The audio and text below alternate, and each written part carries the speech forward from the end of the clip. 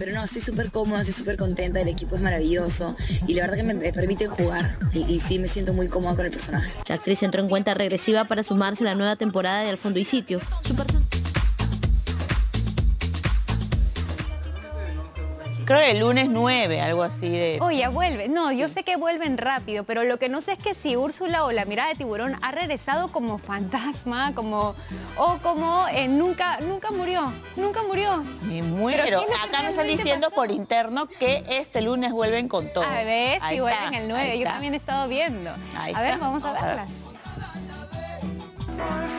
María Gracia Gamarra eligió pasar sus vacaciones en familia y rodeada de la naturaleza.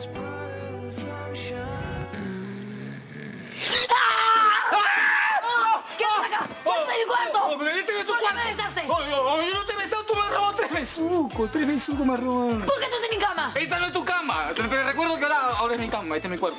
Pero no, estoy súper cómoda, estoy súper contenta, el equipo es maravilloso y la verdad que me, me permite jugar y, y, sí me siento muy cómoda con el personaje. La actriz entró en cuenta regresiva para sumarse a la nueva temporada de Al Fondo y Sitio. Su personaje aún tiene mucho por mostrarle al público.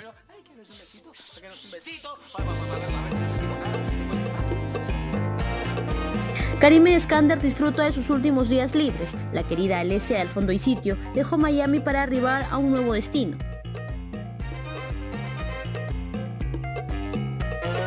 La actriz llegó a Panamá y no dejó de compartir con sus seguidores todos los entretelones de estos días de relajo.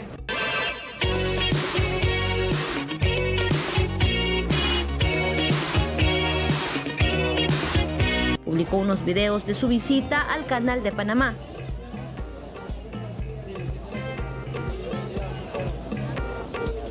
Quedó maravillada con las playas y el buen clima. Muchos esperan saber qué pasará entre Alesia y Jimmy tras el comentado beso al final de temporada.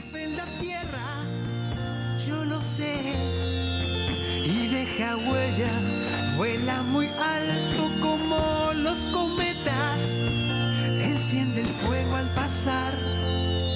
¿Qué puedo hacer para atraparla? No soy el único que quiere conquistarla. Karime retomará en breve las grabaciones. Este lunes retorna al fondo y sitio. Oye, en, tu casa deben estar preocupados. no, en mi casa no se me ha dado ni cuenta que no estoy. ¿Estás hablando en serio?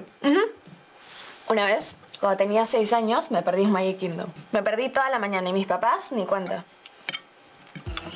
El retorno de Claudia a la popular mirada de tiburón sigue siendo lo más comentado del final de temporada del Fondo y Sitio. Úrsula Bosa compartió con sus seguidores el detrás del cambio de look al que se sometió para volver a interpretar su icónico personaje.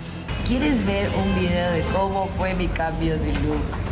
De mi pelo largote a mi pelo corto y rojo. En la siguiente historia te voy a enseñar eh, quién es el capazo que me hizo este cambio de look radical para la mirada de tiburón.